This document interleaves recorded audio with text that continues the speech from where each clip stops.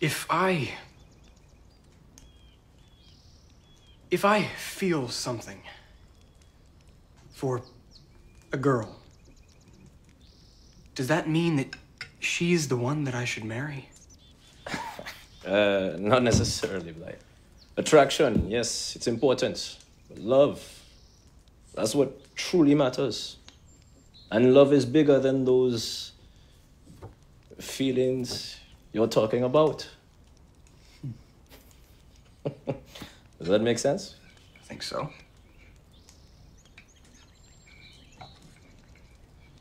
You mind telling me who this girl is? I mind. You sure? Yep. How about now? Nope. You can tell her. She won't talk.